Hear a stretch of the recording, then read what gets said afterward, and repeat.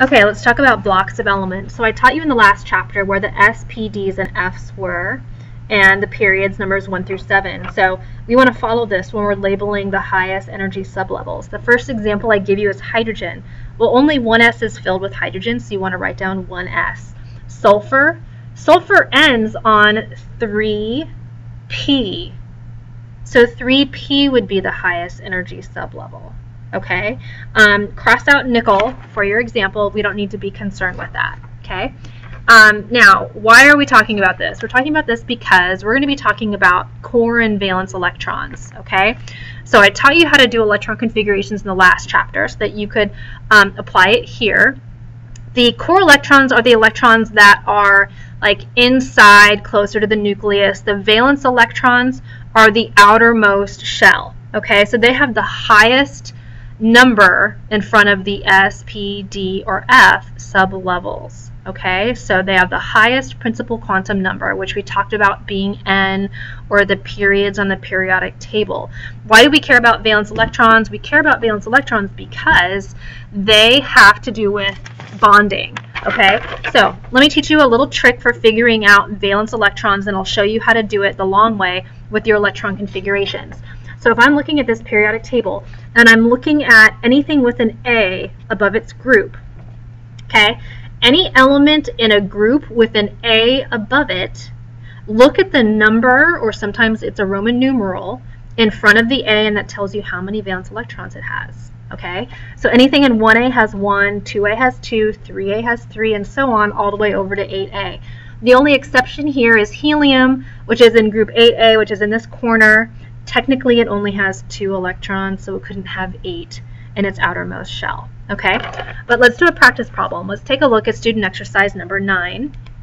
Write the electron configuration for phosphorus. Okay, so phosphorus is 1s2, 2s2, 2p6, 3s2, 3p3. Okay, what I'm going to do is I'm going to make a note of the highest energy level. So it's a 3. Okay, so the electrons that are in the third energy level are the highest. Those are my valence electrons. So here,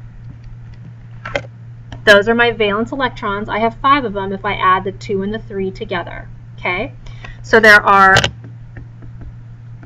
five valence electrons. And then everything else is a core electron, right? So all of these electrons here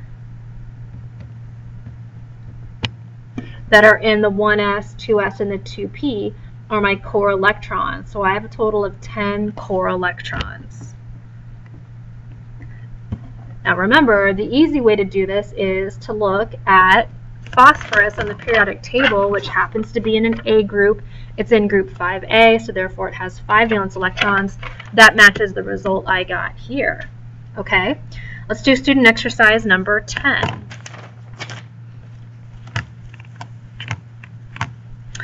Student exercise number 10 wants the valence and core electrons for selenium, which is Se.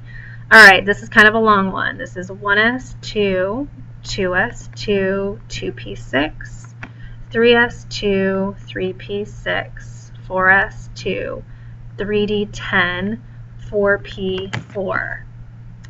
Now, I want to figure out my core electrons and my valence electrons. So I'm going to underline the highest number, which is a 4, in front of the S and the P. That means that the electrons that are there are my valence electrons. So if I add together the 4 and the 2, I get 6. So I have 6 valence electrons. That means the electrons that are in the other sublevels must be my core electrons. Okay, so there they are. Now if I look at SE on the periodic table, which is right here, it's in 6A. So that means it has six valence electrons, which matches what we just got here. Okay? Student exercise 11 wants you to refer to the periodic table to predict the number of valence electrons for an atom of each of the following. So I'm just going to write down all of the elements that I have listed, and we're going to go through the periodic table and do them. Sodium is in group 1A, therefore it has one valence electron. Aluminum, aluminum is in group 3A, therefore it has three valence electrons. Sulfur is in group 6A, so it has six. Xenon is in group 8A, so it has eight. Helium is in group 8A, but it is the exception that I told you about. Technically, it doesn't have eight valence electrons. It only has two electrons, and it's in the 1s, which is its outermost shell, so it has two electrons. Okay? Student exercise number 12 is just kind of some practice on electron configuration and noble gas shorthand, just so you don't forget it. So we can do a few of those, and then we'll move on. So we've got B plus 3. Remember, the plus 3 really means I lost 3 electrons. So you have to go back 3 boxes, which puts you at helium. So your electron configuration would be 1s2 or helium in a bracket. If I'm doing O negative 2, that means I gain 2 electrons, and that puts me at neon, so I have the same electron configuration as neon, which is 1s2, 2s2, 2p6, and then I can put neon in a bracket for the shorthand. If I'm doing calcium with a positive 2 charge, the positive 2 charge means that I lost two electrons. So go back two boxes, and that puts you at argon. So now we have the same electron configuration as argon, which ends on 3p6. So it's 1s2, 2s2, 2p6, 3s2, 3p6, or it's argon in a bracket. Okay? Okay, now um, you have a worksheet where I ask you to identify valence and core electrons. I forgot to bring it over here, so I'm going to grab it really quick and explain it.